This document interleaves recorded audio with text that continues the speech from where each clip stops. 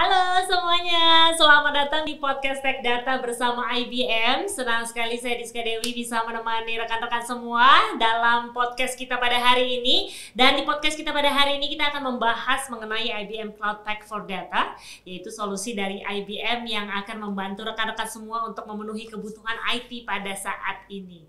Nah, untuk lebih jelas dan juga lebih dalam lagi mengenai solusi IBM ini, sudah hadir dua pembicara kita pada hari ini yaitu Pak Kevin dari Tech Data Indonesia dan juga Pak Alfian dari IBM Indonesia yang akan membahas secara dalam tentang IBM Cloud Tech for Data ini. Langsung saja aku ngobrol-ngobrol.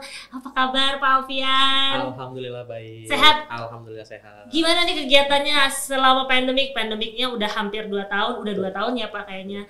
Uh, gimana sekarang apakah work from home atau work from office atau gimana atau di rumah aja gimana Iya. Pak?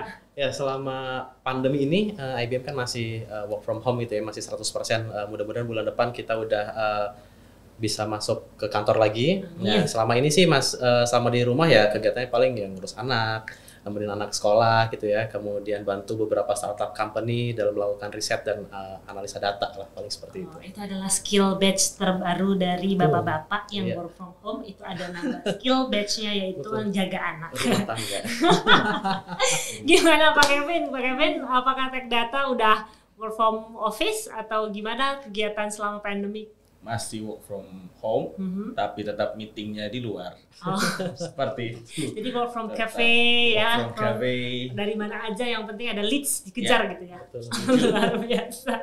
Nah, kita ngobrol-ngobrol singkat dulu awal-awal pendinginan dulu nih kalau ngomong sama Pak Alfian. Eh, IBM kan merupakan perusahaan teknologi pertama di dunia. Mungkin Pak Alfian boleh share sama kita semua yang hadir pada hari ini dan juga menyaksikan podcast secara singkat terkait IBM ini sendiri tuh siapakah IBM, terus apa saja yang di cover? Silakan. Ya, eh, IBM Indonesia eh, masuk ya atau beroperasi di Indonesia itu sekitar 26 Mei tahun 1937. Nah, IBM sendiri itu kan merupakan eh, salah satu eh, dari big three IT company di di dunia gitu ya. Nah, eh, dan beroperasi Indonesia di tahun 37 eh, artinya sampai sekarang kurang lebih 84 tahun ya udah beroperasi di Indonesia. Nah, eh, IBM Indonesia sendiri saat ini punya kurang lebih ya sekitar 1000 eh, klien, kemudian ada sekitar 100 eh, business partner dan yang sekarang bekerja itu ada sekitar 800 lokal employee. Nah, kalau mau mau main-main nih ke kantor IBM ya di The Plaza Office Tower lantai 16, nanti kita bisa ke coffee shop sekitar situ. Sebelahan sama Green Indo Ya, ya, betul. bisa main Pak Kevin ajak-ajak aku nanti Ya, kalau sekalian kita- shopping gitu ya. Oke, nanti kalau misalnya ngobrolin tentang kan eh, di era sekarang nih banyak banget eh, orang-orang yang semakin berinovasi dalam mengelola data perusahaan Ya. gitu ya. Salah satunya menggunakan portfolio analytics. Mhm. Nah, sebenarnya tuh apa sih portfolio analytics dan apa produk unggulan dari por- portfolio analytics ini? Boleh Pak Alfian bantu jelaskan? Jadi kalau kita bicara mengenai portfolio analytics gitu ya, jadi eh, itu sangat luas sekali. Nah, kalau portfolio analytics sendiri kita akan eh, fokusnya ke data and AI.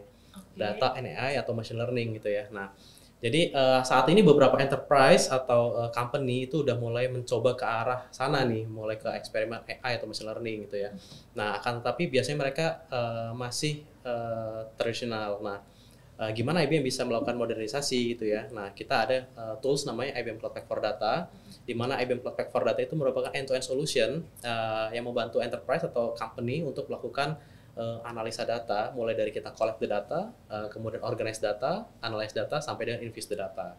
Nah, kemudian eh, strong point-nya di mana eh, Cloud Pack for Data tersebut? Nah, Cloud Pack for Data kan merupakan end-to-end solution, jadi semuanya itu eh, serba ada di tools tersebut, kemudian mem- memudahkan kita dalam melakukan analisa data, kemudian mengimplementasikan di day-to-day operational. Kenapa? Karena biasanya eh, AI atau machine learning itu cuma stuck di area research and development Mhm. karena ya satu dan lain hal salah satunya adalah uh, tools yang tidak terintegrasi kemudian kita perlu ya additional skill atau additional work gitu ya untuk melakukan deployment di dalam uh, ya di production atau di day to day operational sehingga biasanya itu menjadi uh, apa challenge bagi enterprise enterprise dalam mengimplementasikan hal tersebut. Oh, jadi kalau yang ini nggak berhenti di R&D, Betul. langsung bisa end to end Eh, luar biasa Cloud Platform Data ini memang bisa digunakan untuk berbagai keperluan. Lalu tadi kan eh, udah dibahas juga tadi di akhir-akhir kalau misalnya banyak challenge gitu ya. Nah kira-kira kalau misalnya menurut Pak Alfian ini challenge atau tantangan utama dari sebuah perusahaan yang memulai aktivitas berkaitan dengan data science, AI atau machine learning itu apa aja tantangannya terus bagaimana uh, IBM tuh bisa menutupi gap tersebut gitu. Oke. Ya, uh, jadi kalau misalkan tadi saya sebutkan salah satu challenge-nya adalah uh, tools tersebut yang tidak ter- terintegrasi gitu ya. Nah, ada uh, beberapa challenge lain ya. Salah satunya yang akan saya bahas di sini adalah mengenai uh, drought atau uh, kekeringan atau ya kesulitan ya kita dalam melakukan uh, mengumpulkan tool uh, sorry mengumpulkan uh, skill skills gitu ya data science di dalam sebuah enterprise. Nah, IBM sendiri melihat bahwa uh, ada uh, gap antara uh, skill uh, kemudian antara teknologi yang digunakan dan antara generasi yang ada di dalam sebuah perusahaan gitu ya. Nah, uh, skill kemudian uh, teknologi itu bisa diadres uh, menggunakan tools. Kemudian nah untuk yang uh, apa namanya gap edge sendiri itu biasanya uh, memberikan behavior yang berbeda gitu ya. Kalau misalkan new generation itu biasanya orang-orang yang lebih suka menggunakan drag and drop function. Hmm. Kemudian kalau misalkan untuk yang mid generation itu biasanya mereka lebih suka menggunakan drag and drop function dan uh, additional misalnya scripting gitu ya. Nah, tapi masih yang low code lah gitu, yang low scripting. Nah, uh, kemudian untuk yang old generation biasanya bapak atau ibu yang sangat senior itu ya yeah. di iya. perusahaan itu lebih suka menggunakan uh, fully scripting atau minimize ya uh, uh, UI-nya itu yang sangat minimalis sekali. Nah, bagaimana sih IBM mengadres uh, challenge-challenge tersebut itu ya? Nah, uh, di dalam Cloud Pack for Data kita juga mengakomodasi tiga uh, behavior tersebut. Oh, Jadi uh, untuk yang new generation yang uh, lebih suka uh, uh, drag and drop function gitu uh, kita punya yang namanya SPSS modeler. Kemudian untuk yang uh, teman-teman yang suka uh, mid generation atau uh, drag and drop function dan uh, scripting mungkin Pak Kevin juga sudah tahu ya ada fitur yang namanya auto AI di mana kita juga memungkinkan kombinasi antara scripting dengan uh, drag and drop. Atau misalkan teman-teman uh, atau bapak ibu yang senior di kantor gitu ya uh, yang lebih suka uh, heavy coding gitu ya. Nah, itu kita menyediakan tools yang namanya Jupyter Analytics atau uh, apa namanya notebook gitu ya, uh, Jupyter Notebooks Analytics gitu untuk melakukan uh, uh, uh, scripting dan modeling. Ada juga itu. di situ. Ya? Ada semuanya itu terintegrasi di dalam Cloud Core Data dan yes. semuanya itu uh, sudah pre-integrated dan kita tidak perlu melakukan ya istilahnya uh, manually integrated di tools-tools tersebut. Udah ada semuanya. Udah ada semuanya. Situ, ya, iya. rekan-rekan. Kalau misalnya Pak Kevin sendiri ini kan udah sering bareng-bareng sama IBM gitu. Yeah. Nah, uh, eh, IBM ini membantu untuk menutupi atau menghadang challenge-challenge itu berhasil atau enggak atau gimana? Punya pengalaman nggak sih Pak Kevin? Silakan Pak Kevin. So far untuk semua challenge yang kita hadapi ya pasti kita akan finish ya selesaikan. At least ada the end result. Lalu terkait support kalau dari IBM uh, itu kita ada portal nanti ada dua portal satu portal untuk partner satu portal juga untuk user di mana uh, apabila ada isu atau challenge uh, tinggal submit tiket oh. via portal tersebut. Dan pasti akan ada tim yang akan mereply atau menjawab terkait challenge tersebut. Oh, terkait support jadi um, memang ada ya selalu siaga yes. 24 jam? Follow the sun. Oh, Nah Pak Alvin, kalau ditanya apakah Cloud Tech for Data ini hanya bisa berjalan di cloud environment only kah? Terus kalau misalnya ada customer atau klien yang yang pengennya tuh menjalankan Cloud Tech for Data ini di server yang sudah mereka miliki hmm. atau on-prem gitu, bisa nggak sih? Nah ini uh, pertanyaan uh, yang paling sering ditanyakan kalau kita uh, presentasi mengenai Cloud Tech for Data gitu ya. Nah, kayak memang uh, idenya adalah uh, kita membawa teknologi cloud ke uh, apa namanya kerana uh, analytics gitu ya. Jadi uh, jawabannya bisa uh, untuk deploy di on-prem maupun di uh, apa namanya on public cloud gitu ya. Kadang ada perusahaan yang gini, Pak, uh, saya mau deploy IBM Cloud Pack for Data, tapi di on-prem saya bisa nggak? Ya, kenapa tidak jawabannya kan? Nah, jadi uh, konsep IBM Cloud Pack for Data ini sendiri adalah uh, hybrid. Jadi uh, saat ini memang misalkan uh, sebuah perusahaan uh, ID-nya atau uh, arahannya semuanya on-prem gitu ya. Uh, kita bisa install di on-prem. Kemudian nanti dua atau tiga tahun ke depan mereka melihat bahwa oh kayaknya kalau misalnya kita move ke cloud itu akan lebih efektif dan efisien. Nah hmm. dengan IBM Cloud Pack for Data yang kita basisnya adalah Red Hat OpenShift gitu ya, itu kita cukup migrate, move tanpa kita harus melakukan instalasi ulang. Sehingga apa yang sudah kita lakukan di on-prem itu bisa ke carry over ke cloud. Nah itu adalah uh, mudahnya deployment uh, Cloud Pack for Data. Oh, jadi nggak usah dari awal lagi gitu Betul ya, tinggal sekali. shifting aja langsung ya. Betul sekali. Wow, oke. Nah, kalau misalnya posisi IBM Cloud Pack for Data terhadap produk-produk analytics IBM lainnya seperti SPSS Modeler atau Cognos Analytics itu gimana? Ada di gimana gitu? Mhm, Ya. Silakan, Pak. Jadi untuk perusahaan-perusahaan yang saat ini punya software stack-nya IBM, contohnya Cognos Analytics, SPSS Modeler, kemudian DB2, kemudian ya beberapa software lainnya lah. ya. Nah, eh, Cloud Pack for Data ini menjadi sebuah modernization path.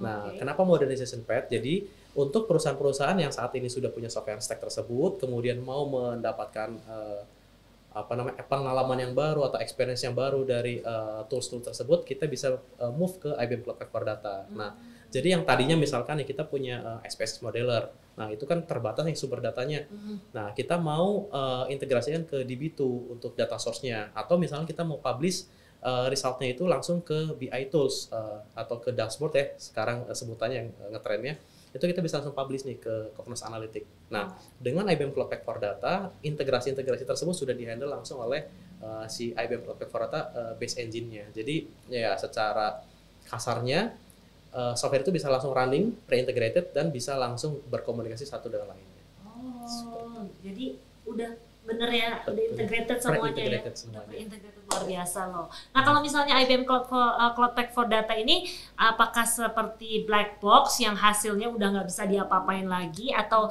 akan memberikan kesempatan untuk usernya bisa tuning atau bagaimana? Hmm, Nah, ini pertanyaan pamungkas yang biasanya ditanyakan oleh beberapa customer gitu ya.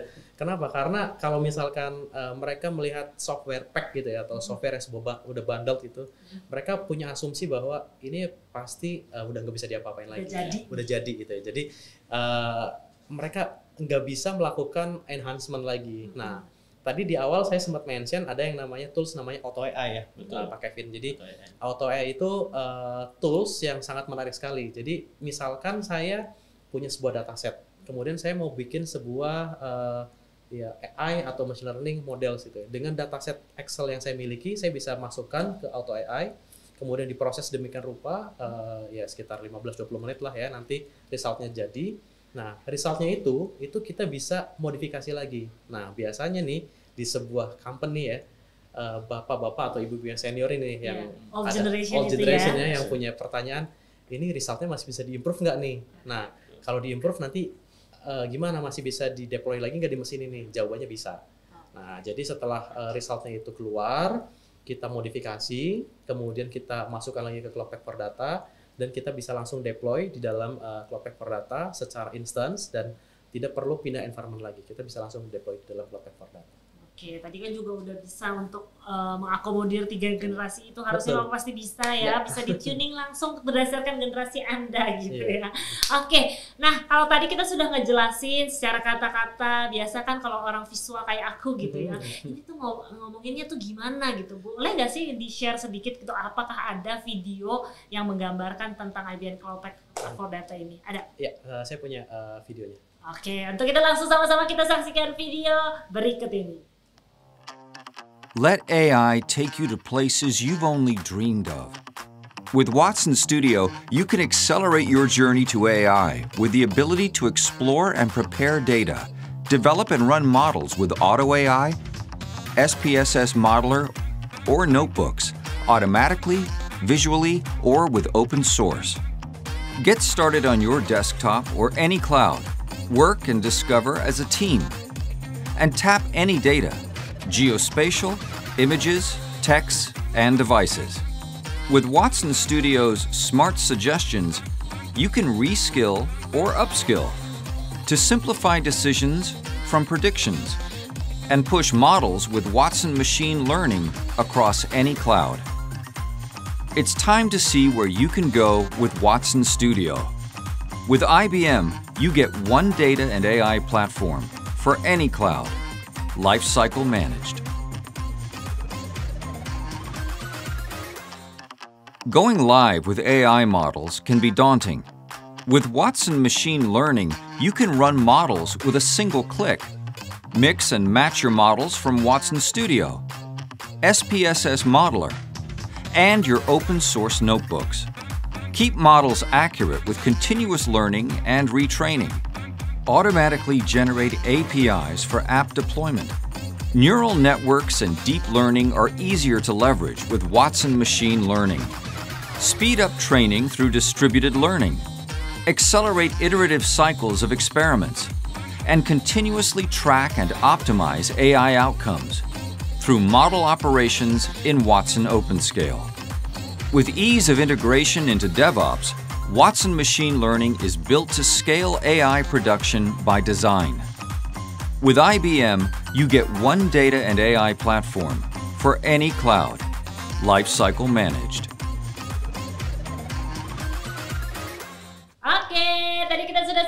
Saksikan short video tentang IBM Cloud for uh, Cloud Tech for Data. Semoga bisa langsung ada gambaran seperti apa solusinya dan langsung uh, tadi juga kalau misalnya ada pertanyaan-pertanyaan boleh nanti silakan langsung menghubungi Pak Kevin dan juga Pak Alfian Siap. loh ya. Boleh diminum dulu. Oke. Kayaknya tadi aku nanya ya banyak Iya. banget ya. Oke, saya Haus ya, gak ya. sih? Aku nggak minum nanti aja.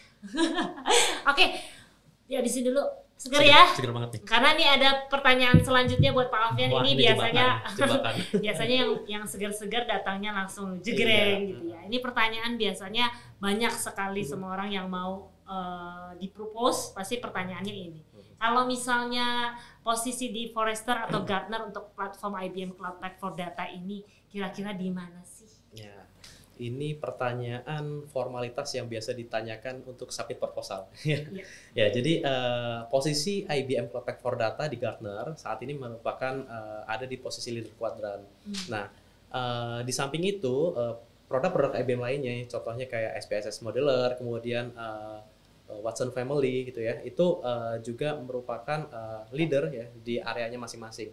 Sehingga secara tidak langsung IBM Cloud Tech for Data ini disupport oleh software-software yang merupakan eh, market leader di areanya. Contohnya Watson Family, kemudian DB2, kemudian SPSS Modeler. Sehingga IBM Cloud for Data atau kita kenal di Gartner atau Forrester itu namanya adalah Enterprise Insight Platform. Itu merupakan eh, leader untuk eh, platform analytics yang end-to-end solution. Aman Bapak Aman. Ibu di Forrester ataupun di Gartner aman di Iya. leader quadrant ya luar biasa.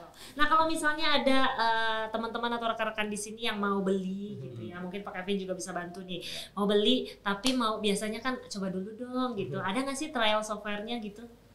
Oke, untuk trial software, eh, teman-teman atau rekan-rekan bisa eh, langsung sign up atau sign in ya kalau yang punya udah punya IBM ID Mhm. di cloud.ibm.com. Kemudian kita bisa membuat account di situ untuk trial IBM Cloud for Data.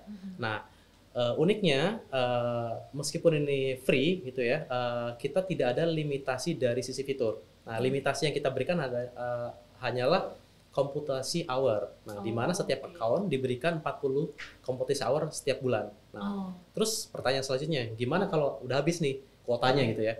Nah, setelah eh, kuotanya itu habis, kita tunggu eh, bulan ber- eh, bulan berjalan, kemudian kita akan di renew lagi nih di bulan depannya, sehingga kita bisa melakukan eksperimen-eksperimen lagi, kemudian kita bisa eh, ya main-main lagi, play around dengan data-data yang kita miliki eh, di platform tersebut. bisa di-explore ya. Explore lagi lebih Luar lanjut. biasa. Ya, terima kasih banyak loh Pak Alfian, banyak banget ini detailsnya. Jadi menarik banget ya Bapak Ibu, ternyata Cloud Tech for Data ini merupakan platform data analytics dari IBM yang memang difokuskan untuk dapat membantu mendekati dan juga mengenal kebutuhan customer saat ini. Mungkin secara garis besarnya nih, eh, IBM Cloud Tech for Data adalah platform data yang memodernisasi cara pengumpulan, pengorganisasian, analisa keseluruhan data perusahaan dan juga pengaplikasian artificial intelligence.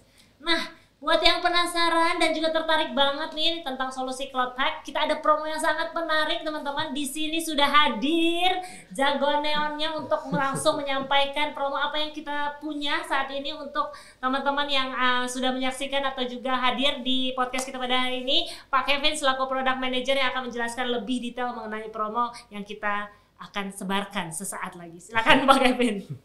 Halo semua, perkenalkan eh, saya dari Tech Data Indonesia, eh, distributor resmi IBM. Eh, promo yang akan kita bawakan hari ini atau saya bawakan adalah promo pay only 1%, Hmm. pay only 1%. Lalu eh, promonya ini kita buat berdasarkan COVID effect yang udah banyak eh, menimpa para customer kita ya, klien-klien di luar banyak banget yang ingin men-shifting uh, pola expense mereka dari capital expense to operating expense. Di mana PO 5% ini nantinya akan berlaku seperti tempo pembayaran. Jadi setiap klien kita diberi tempo pembayaran uh, sampai 36 bulan. Oh, 36 bulan? Betul sekali. Semacam kayak kartu kredit gitu ya? Betul. Kayak KPR. KPR juga KPR bisa. bener-bener. Iya, seperti itu. Oke, terus apa lagi promonya mungkin bisa di-share lebih dalam lagi? Untuk PO 5% ini eh 8 bulan pertama itu cukup bayar satu persen. Oh, jadi satu persennya adalah di 8 bulan pertama yang Betul. cukup satu persen aja gitu. Gitu. Jadi eh, dengan asumsi project atau nilai pembeliannya adalah 100 juta rupiah, di 8 bulan pertama dari customer cukup bayar satu persennya saja Oh, atau gitu. senilai satu juta rupiah. Jadi affordable banget ya berarti ya Betul. kalau misalnya buat perusahaan satu persennya selama 8 bulan itu ya. Yes. Setelahnya? Di range 4% sampai 5%. Oh, fluktuatif berarti ya. Betul. Wah, luar biasa ya Bapak Ibu sekalian tadi kita sudah dengarkan eh, promo yang disampaikan oleh Pak Kevin banyak banget customer saat ini ingin memang merubah pola expense dari capital expense menjadi operating expense berarti payment cloud platform data ini bisa dilakukan payment seperti subscription atau KPR atau cicilan kartu kredit yang tadi sudah disampaikan oleh Pak Kevin. Jadi benefit yang diberikan adalah tidak perlu mengeluarkan anggaran yang besar dan anggaran itu bisa dibagi paymentnya dalam kurun waktu 36 bulan saja. Sekali. Hmm, luar biasa kan? Mantap sekali nih. Mantap kalau dari tadi Pak Alfian tuh mantap mantap mantap semuanya mantap. Mantap.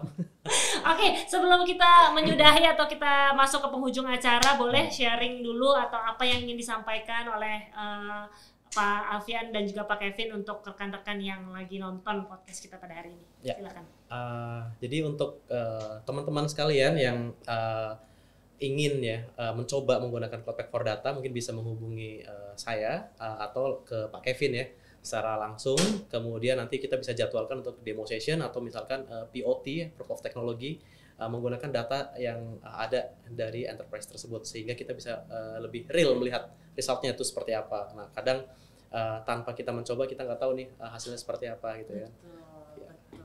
Gimana Pak Kevin? Silakan. Dari saya mungkin eh, sesuai dengan yang Pak Alfian tadi infokan, apabila dari klien eh, butuh proof of teknologi, silakan eh, kontak kami. Kita akan siapkan demonya, kita akan bisa grab data-data yang eh, ada dari klien, kita bisa testing dahulu. Lalu untuk promonya PO 5% ini saya harapkan bisa membantu ya semua klien-klien yang memang after COVID effect ini terkena dampaknya seperti itu untuk pemulihan karena kita harapkan Cloud Pack for Data yang tadi sudah dijelaskan infonya dari Pak Alfian yang sangat banyak itu bisa membantu semua klien untuk membuat uh, better business decision yang lebih baik untuk kepentingan perusahaannya juga seperti itu. Amin. Jadi semuanya bisa eh, happy gitu ya dengan Ya. solusi yang disampaikan dan juga promo yang disampaikan oleh Pak Kevin. Terima kasih banyak Pak Alfian Ya, atas waktunya. Pak Kevin Ya. juga terima kasih atas waktunya. Sangat eh, inspiratif banget dan sangat informatif banget informasi yang telah disampaikan pada hari ini. Sehat selalu ya. Ya. Sehat-sehat. Baik Bapak Ibu sekalian, ke sekian podcast kita pada hari ini. Semoga informasi yang disampaikan bisa bermanfaat untuk teman-teman semua dan jangan lupa untuk memanfaatkan promo yang tadi sudah eh, Pak Kevin eh, sampaikan di podcast ini. Jadi boleh langsung hubungi Pak Kevin dan juga Pak Alfian untuk informasi lebih lanjut. Terima kasih, sampai jumpa di event selanjutnya dan juga podcast selanjutnya. Have a nice day, stay healthy, stay happy, semangat selalu. Have a nice day, bye bye.